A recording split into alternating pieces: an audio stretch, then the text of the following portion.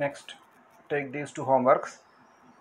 Find the lengths of 1 f of x is equal to 1 by 3 x cubed plus 1 by 4x.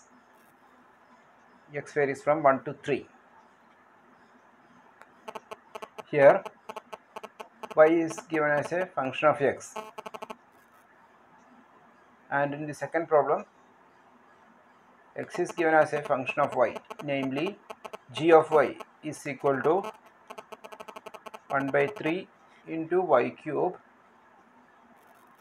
plus 1 by 4y 1 less than or equal to y less than or equal to 2 so for the first problem you have to use length is equal to integral a to b square root of 1 plus f dash of x whole square dx evaluate and you will get 53 by 6 and for the second problem you will have to use length is equal to integral c to d.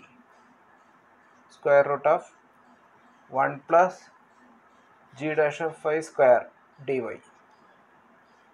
And you will get the answer 59 by 24